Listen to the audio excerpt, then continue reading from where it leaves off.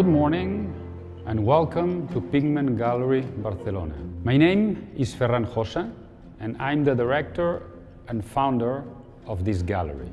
My story began a long time ago. I was director of one of the oldest active galleries in the world. In 2016, I decided to open Pigment Gallery.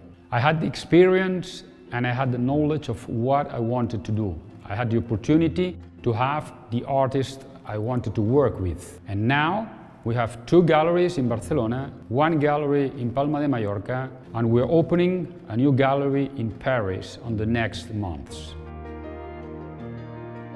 I want to thank Citibank for having this cooperation on preparing a selection of works to exhibit to your clients. And I invite you to come with me and see the works we have prepared for you.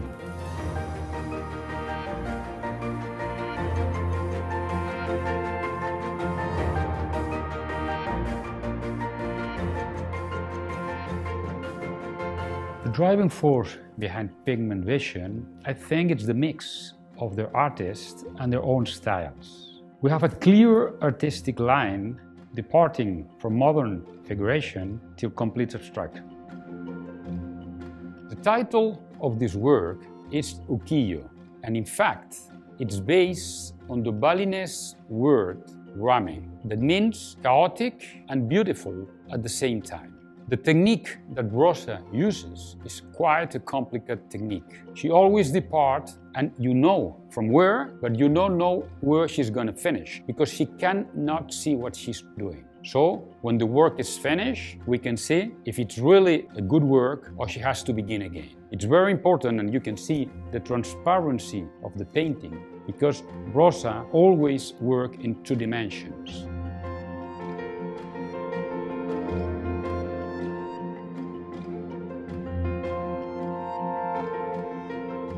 Pigment Gallery, we work with more than 80% women artists. So for us, it's a usual way of working. In that show, we present three women's and two men's. And it's just a natural organic selection.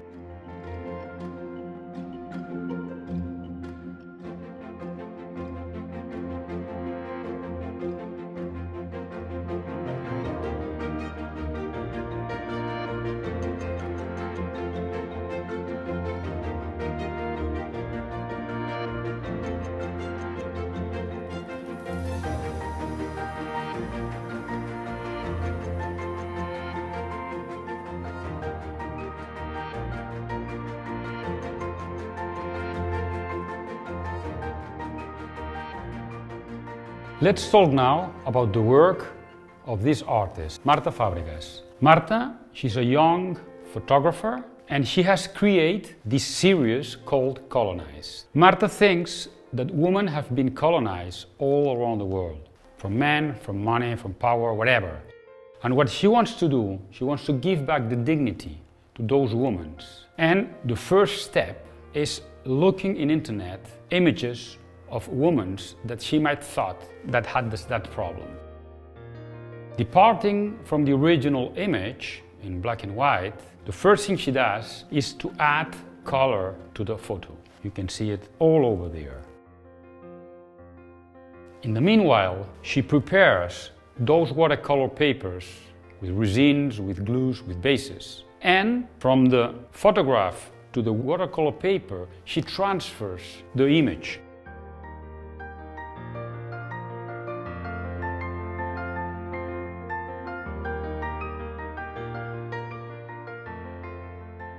We go now to this work from the artist Penelope Clot.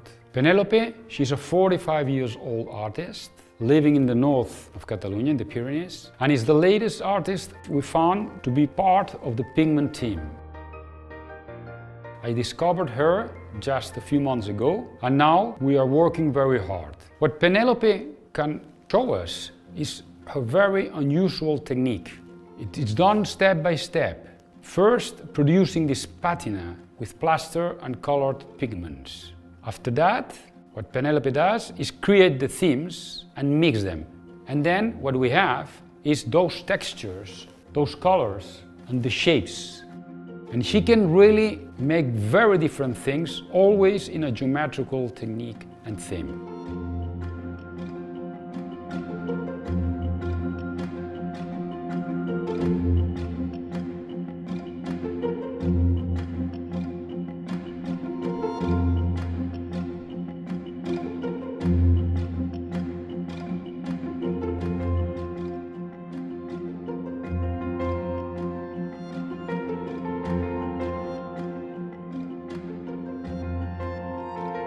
David Morago is a young artist, 45 years old, established in Madrid, and he's the son and the nephew of other two great artists here in Spain. I met David Morago a long time ago, and we began to work. And last year was the first time we presented a piece from him in the LA Show. It was another white shark, huge, three meters long, on wood, an original piece. It was sold in the five minutes after the opening of the art fair.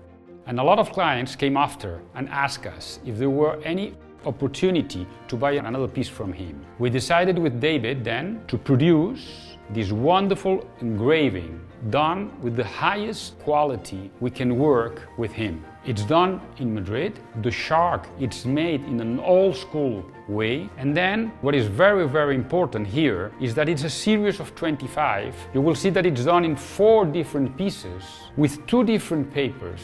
One cotton paper and one Korean paper of 28 grams. As well, David works handily and differently all the spots, the color spots that you see, and that makes every single piece a unique monotype. This piece made almost three meters. It will be presented this year in the LA show for the first time.